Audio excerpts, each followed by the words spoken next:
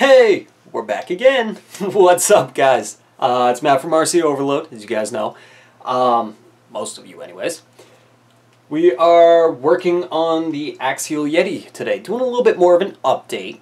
Uh, going to show you guys some things that I've done, nothing major, but nonetheless, I wanted to keep you guys updated with this build uh, as it progresses. Now, done a few things. Let me show you.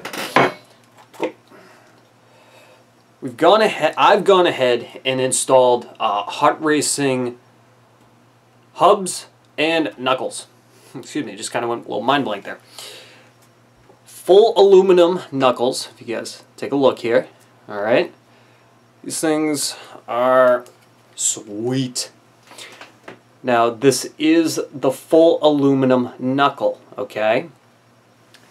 Hot Racing does offer another knuckle but it has carbon fiber arms on it. Okay? The only difference is the fully aluminum, okay, the one that has the arm that's completely aluminum with the whole body here, accepts the stock drive shaft, okay? The stock axial drive shaft. Now, the other knuckle, the one with the carbon fiber arm, only accepts the hot racing upgraded drive shaft. All right. Now I got this one because it was the first one to come out, and I had no idea that it only accepted the hot racing drive shaft. So when I got it, I go to put my drive shafts in, and I'm like, wait a minute, something ain't right here. Nothing's fitting together.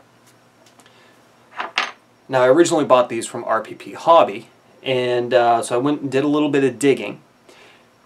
Come to find out, they you have to put in a 5 by 11 bearing into this as well as accepting only the hot racing drive shafts. Now I didn't know that until I did a little more research on the hot racing website and RPP's hobbies website. Um, and unfortunately I just didn't want to go ahead with the upgraded drive shaft as well as searching for a 5 by 11 bearing. I wanted to keep my stock drive shafts because they're perfectly fine right now. I'm okay with them. I don't need to upgrade them. They're good. So I waited a little bit because I saw Hot Racing was coming out with a uh, fully aluminum knuckle. So once they came out with that, I ordered it up and it still accepts the stock 5x10 bearing and still allows for the stock drive shaft. Now at a later date I may go ahead and upgrade the drive shafts but for right now I'm going to stay with the stock one. There you go. Take a look. Now as you can see there is an angle to that. So if it's straight up and down, the axle actually comes down in a downward position. So you will need to adjust the whole knuckle and carrier uh, inwards more. But that's fine because when the truck's level, so isn't the drive shaft. Alright? And for the most part, your drive shaft is going to be riding more up here than all the way down, for the most part. So, they're pretty sweet stock design setup. Uh, the fully aluminum ones, you guys take a look here, where the rod goes into the arm, it does have three holes here that you can uh, put the, uh, the screw through. That's for different torque and tension, uh, steering movement and all that, all adjusting. Um, I'm leaving mine in the center because that's pretty much the stock position. So that's what I did on the front end. The front end is now complete, ready to go. We can now throw on some badass wheels onto it and um, keep going on with this thing. Now the other thing that I have I did at the same time was I installed the Carter Fab sway bar disconnects, which you guys can see right here. These things are really friggin' cool and they're simple. The only problem is I don't, when I disconnect it, I don't know where I'm going to put the sway bar arm or this bottom link. And I'll show you guys. It's a little pin, okay, looks like a body clip. Holds on a pin that you slide out. And actually I gotta do that to the other side. Two seconds. They're really tiny body pins by the way. Alright, you pull up both pins, and the whole sway bar is now loose. Now you can put it up somewhere and mount it up. The body does come down far enough so I may create some kind of strap and hold it. Um, but my biggest problem is with these lower links, where are these going to sit that aren't going to get in the way? Now I could put them off to the side a little bit and get some kind of like Velcro strap or something to hold it in place.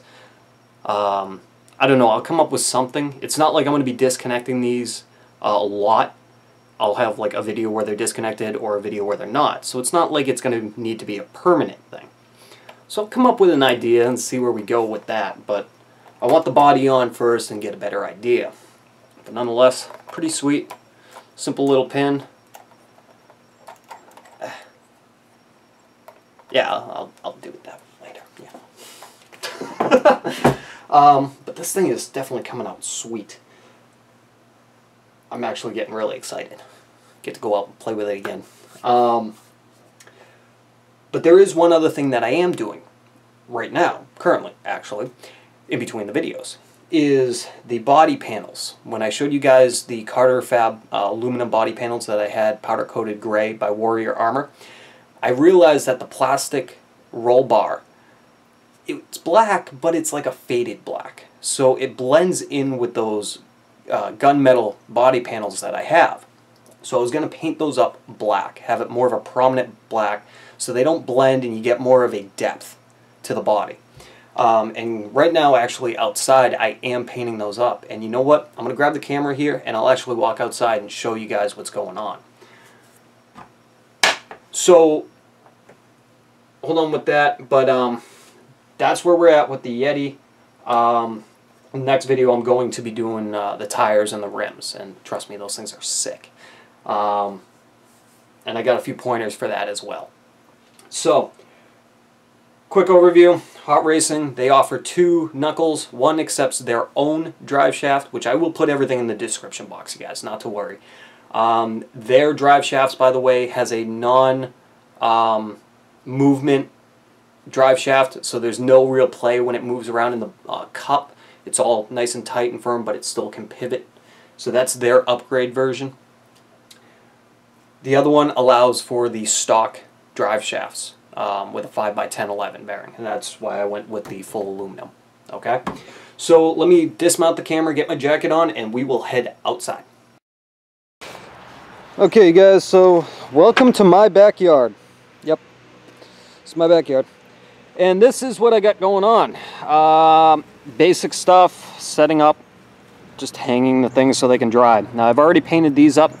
Uh, I've broken down all the pieces to this so that it was a lot easier to paint. Um, these ones are a little harder to see, but you can tell that they're definitely a lot more black than before. Uh, again, these ones are all set. I'm just waiting for them to dry.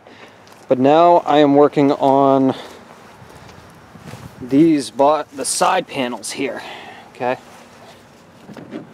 Uh, hold on one second, you guys. So, as you can see, I'll try to get a close-up view. Nice and black now, which is awesome. I'll definitely allow that uh, carbon fiber, I mean, yeah, that gunmetal paint job on the body panels uh, to really pop a bit. But uh, I gotta finish painting these up real quick, apply another coat. So, um, yeah, hang on. So, I'm using Krylon Fusion spray paint. Um, I love this stuff for doing plastics. I know there's a bunch of different ways to do it, um, but this stuff seems to work great for me, and this is what I like to use. So.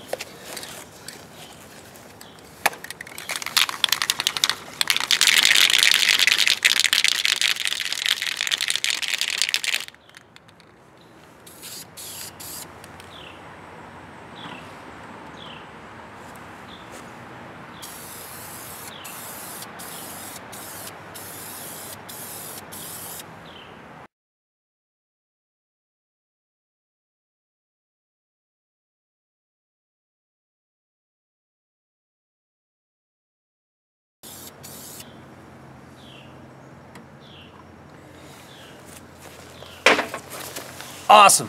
All right, guys. So uh, that's it.